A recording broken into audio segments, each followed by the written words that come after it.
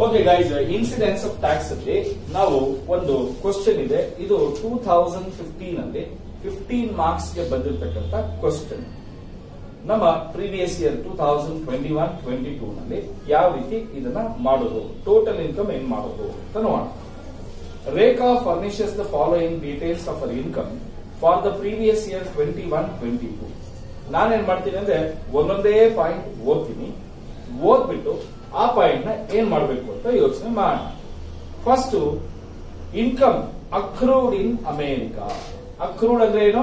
Earned in America but received in India ನೋಡಿ earn ಮಾಡಿರೋದಲ್ಲಿ America receive ಮಾಡಿರೋದಲ್ಲಿ India ಏನ್ ಮಾಡಬಹುದು ಎಷ್ಟ್ ಕಡೆ ಮಾಡ್ತೀವಿ ಮೂರ್ ಕಡೆ ಮಾಡ್ತೀವಿ ಯಾಕೆ? ಯಾಕೆ ಅಂದ್ರೆ ಯಾವ್ದಾದ್ರೂ ಒಂದು, ಇಲ್ಲ ಅರ್ನ್ ಮಾಡಿರೋದು ಇಂಡಿಯಾನಲ್ಲಿ ಅಥವಾ ರಿಸೀವ್ ಆಗಿರೋದು ಇಂಡಿಯಾನಲ್ಲಿ ಆಗಿದ್ರೆ ಮೂರು ಕಡೆನೂ ಟ್ಯಾಕ್ಸ್ ಮಾಡಿ. ಯಾವ್ದಾದ್ರು ಒಂದ್ ಏನಾಗಿರ್ಬೇಕು ಇಂಡಿಯಾನಲ್ಲಿ ಆಗಿರ್ಬೇಕು. ಇಲ್ಲಿ ಅಮೆರಿಕಲ್ಲಿ ಅರ್ನ್ ಮಾಡಿದ್ದಾನೆ. ರಿಸೀವ್ ಆಗಿರೋದಲ್ಲಿ ಇಂಡಿಯಾನಲ್ಲಿ ಸೊ ಅದಕ್ಕೋಸ್ಕರ it is taxable in all the three cases so ಹಾಗಾದ್ರೆ first point income earned in USA, received in in India. ಕರೆಕ್ಟಾ? ಎಷ್ಟಪ್ಪ ಅಮೌಂಟ್ ಅದು? Nineteen thousand rupees taxable in all the three cases correct ಏನಪ್ಪ? ಅಲ್ಲಿಗೆ first point ಮುಗೀತು. ಎರಡನೇ point ಬರೋಣ. Interest on U K government securities rupees fifteen thousand ಅಂತ ಹೇಳ್ತಾ ಇದ್ದಾರೆ. ನೋಡಿ interest which is earn or received everything is happen where see ಇಲ್ಲಿ interest on UK government securities ಅಂದ್ರೆ ಯುಕೆ ನಲ್ಲಿ ಗವರ್ಮೆಂಟ್ ಸೆಕ್ಯೂರಿಟೀಸ್ ಮೇಲೆ ಇನ್ವೆಸ್ಟ್ಮೆಂಟ್ ಮಾಡಿದ್ವಿ. ಎಷ್ಟು ಮಾಡಿದ್ವು ಗೊತ್ತಿಲ್ಲ. ಅದರಿಂದ ನಮ್ಗೆ ಒಂದು fifteen thousand rupees interest income ಅಲ್ಲ ಅರ್ನ್ ಮಾಡಿದ್ವಿ.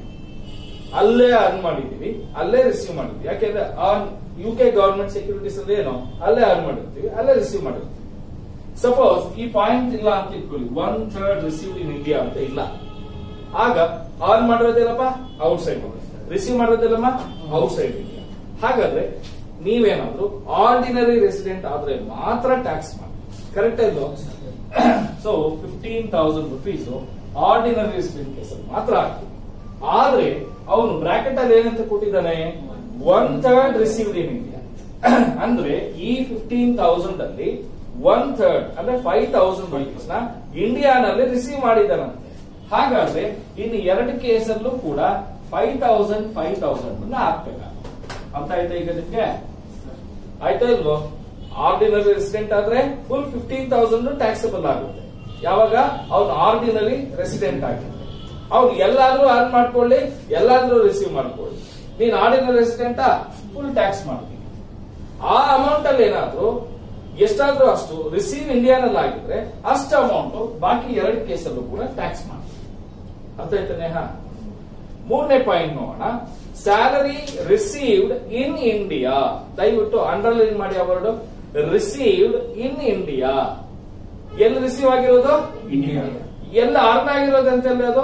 ಜರ್ಮನಿ. ಜರ್ಮನಿನಲ್ಲಿ ಅವನು ಎಲ್ಲಾದ್ರೂ ಅರ್ನ್ ಮಾಡ್ಕೊಳ್ಳಿ. ರಿಸೀವ್ ಆಗಿರೋದೆಲ್ಲಿ ಇಂಡಿಯಾದಲ್ಲಿ. ಇಂಡಿಯಾನಲ್ಲಿ. ಹಾಗಾದ್ರೆ ಏನ್ ಮಾಡ್ತೀವಿ? ಮೂರು ಕಡೆನೂ ಟ್ಯಾಕ್ಸ್ ಮಾಡ್ತೀವಿ. ಹೌದಾ ಇಲ್ಲೋ ಸೊ ಹಾಗಾದ್ರೆ ಮೂರನೇ point salary received in India but earned in Germany ಕರೆಕ್ಟಾ ಅಮೌಂಟ್ ಎಷ್ಟದು? 28,000. Twenty eight thousand all the three cases taxable ಕಾರಣ ಇಷ್ಟೇ, ಇಂಡಿಯಾನಲ್ಲಿ ರಿಸೀವ್ ಮಾಡಿದ್ದಾನೆ. ಅರ್ಥ ಆಯ್ತು ಎಲ್ಲರಿಗೂ ಮೂರನೇ ಪಾಯಿಂಟ್ ಆಯ್ತು. ನಾಲ್ಕನೇ ಪಾಯಿಂಟ್ ನೋಡೋಣ. Income from profession in China received there ನೋಡಿ ಇನ್ಕಮ್ ಒಂದು ಪ್ರೊಫೆಷನ್ ಇದೆಯಂತೆ ಎಲ್ಲಿ? ಚೈನಾನಲ್ಲಿ ಇದೆಯಂತೆ ಆನ್ ಮಾಡಿರೋದಲ್ಲಿ? ಚೈನಾನಲ್ಲಿ ರಿಸೀವ್ ಆಗಿರೋದಲ್ಲಿ? ಚೈನಾನಲ್ಲಿ ಆದ್ರೆ the profession was set up in India set up ಅಂದ್ರೂ ಒಂದೇ ಕಂಟ್ರೋಲ್ ಅಂದ್ರೂ ಒಂದೇ. ಕರೆಕ್ಟಾ ಇಂಡಿಯಾನಲ್ಲಿ ಕಂಟ್ರೋಲ್ ಆಗಿದ್ರೆ ಎಷ್ಟು ಕಡೆ ಟ್ಯಾಕ್ಸ್ ಮಾಡ್ತೀವಿ ಫಸ್ಟ್ ಟೂ ಕೇಸಸ್ ಅಲ್ಲಿ ಟ್ಯಾಕ್ಸ್ ಮಾಡ್ತೀವಿ ಕರೆಕ್ಟಾ ಸಪೋಸ್ ಅವನು ಈ ವರ್ಡ್ ಕೊಟ್ಟಿಲ್ಲ.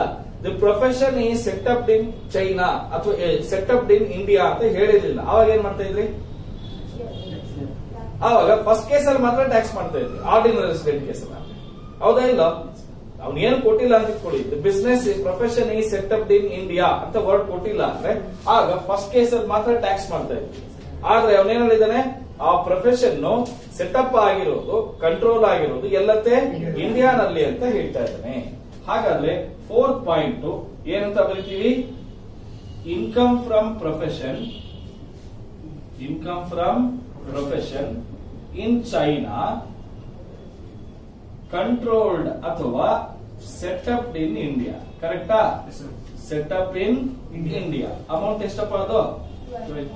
Twelve thousand first two cases ಅಲ್ಲಿ ಟ್ಯಾಕ್ಸ್ ಮಾಡ್ತೀವಿ. ಥರ್ಡ್ ಕೇಸ್ ಅಲ್ಲಿ ಟ್ಯಾಕ್ಸ್ ಮಾಡೋದಿಲ್ಲ. ನೆಕ್ಸ್ಟ್ ಪ್ರಾಬ್ಲಮ್ ನೋಡಿ. Income from agriculture in Bangladesh received and spend there only ಬಾಂಗ್ಲಾದೇಶಲ್ಲಿ agricultural income earn ಮಾಡಿದ್ಯಾ? ಅಲ್ಲೇ ರಿಸೀವ್ ಮಾಡಿದ್ಯಾ? ಅಲ್ಲೇ ಖರ್ಚು ಮಾಡ್ಬಿಟ್ಟಿದ್ಯಾ? ಏನ್ ಮಾಡ್ತೀರಪ್ಪ? ಹೇಳಿ ಯಾರಾದ್ರು. ನೇಹ ಹೇಳು. ಏನ್ ಪಾಯಿಂಟ್ ಗೊತ್ತಿಲ್ಲ.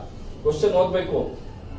Agricultural income Bangladesh received and spend there only ನೋಡಿ ಬಾಂಗ್ಲಾದೇಶಲ್ಲಿ ಅಗ್ರಿಕಲ್ಚರ್ ಇನ್ಕಮ್ನ ಅರ್ನ್ ಮಾಡಿದ್ವಿ.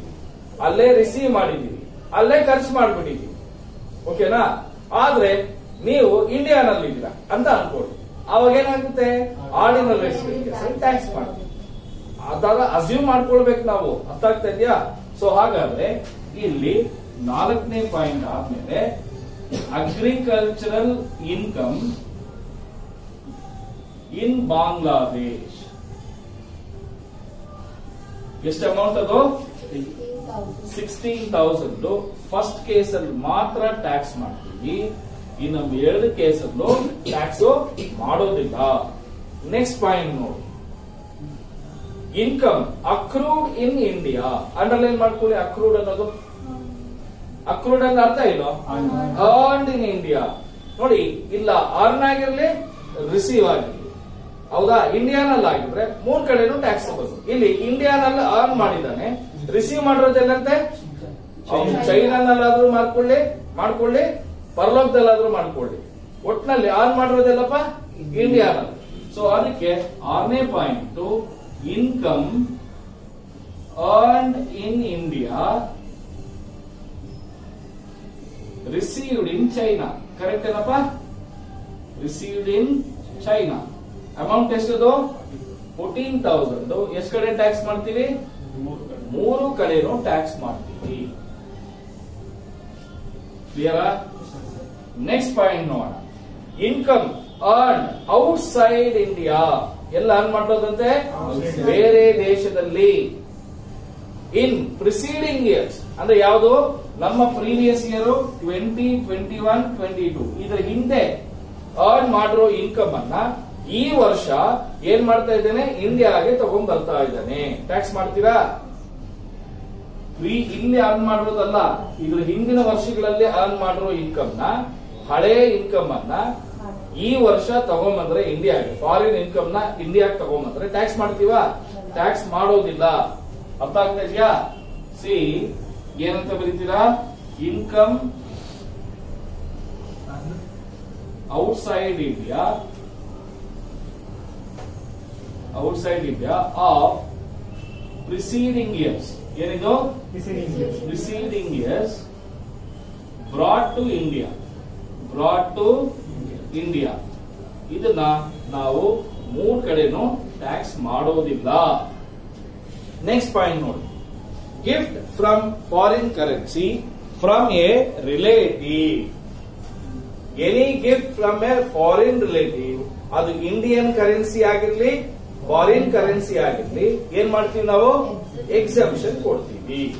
ಸೊ ಹಾಗಾದ್ರೆ gift from foreign currency relative exempted exempted exempted ಕರೆಕ್ಟಾ ಈಗ ಟೋಟಲ್ ಮಾಡಿ ಇಷ್ಟು? One lakh four thousand one lakh four thousand ಇದನ್ನ ಟೋಟಲ್ ಇನ್ಕಮ್ ಅಂತ ಕರೆಯೋಣ. ಓಕೆನಾ ಇದೆಷ್ಟು ಬರುತ್ತೋ? ಹದಿನಾಲ್ಕು ಇಪ್ಪತ್ತೆಂಟು ಐವತ್ತಾರು ಅರವತ್ತೊಂದು ಎಪ್ಪತ್ತು ಎಂಬತ್ತು. ಎಷ್ಟು? ಹೇಳಲ್ಲ. ಸರಿ ಕ್ಯಾಲ್ಕುಲೇಟ್ ಇಟ್ಕೊಂಡು waste sixty six thousand sir second last one sir last last last sixty six six thousand ಇದು ಆರು ಹದಿನಾಲ್ಕು ತೊಂಬತ್ತು ಇಪ್ಪತ್ತೈದು. ತೊಂಬತ್ತು. Seventy seventy eight seventy eight thousand sir ಇಷ್ಟು ಮಾಡಿದ್ರೆ ಫಿಫ್ಟೀನ್ ಮಾರ್ಕ್ಸ್ ಬರುತ್ತೆ ನೋಡಿ. ಮ್ಯಾಕ್ಸಿಮಮ್ ಏನ್ ಮಾಡ್ಬೋದಪ್ಪ ಅಂದ್ರೆ ಇದಕ್ಕೆ ಇದಕ್ಕೆ ಇನ್ನೊಂದ್ ಎರಡು ಪಾಯಿಂಟ್ ಜಾಯಿನ್ ಮಾಡಿ ಕೊಡಿರು. ಅಷ್ಟೇ. ಒಂದು ಹತ್ತು ಪಾಯಿಂಟ್ ಕೊಡ್ಬೋದು. ಹತ್ತು ಪಾಯಿಂಟ್ಗೆ ಹದಿನೈದು ಮಾರ್ಕ್ಸ್ ಬೇಕಾ ಬೇಡವಾ? ಅಂಡರ್ಸ್ಟ್ಯಾಂಡ್ ಮಾಡ್ಕೊಳ್ಬೇಕು ಕ್ಲೀನಾಗೆ